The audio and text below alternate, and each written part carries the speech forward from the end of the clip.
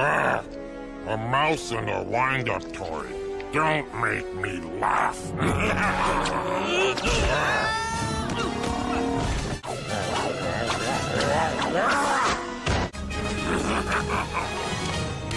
where's my little morsel?